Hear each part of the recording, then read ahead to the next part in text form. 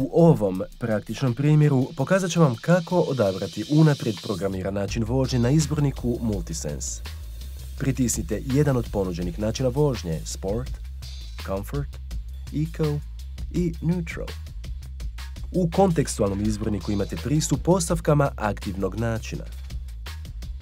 U svim unaprijed programiranim načinima neki od tih parametara konfigurirani su ili nepromjenjivi.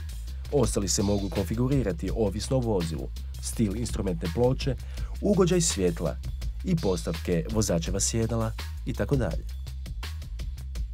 U kontekstualnom izvorniku možete resetirati personalizirane unaprijed programirane načine.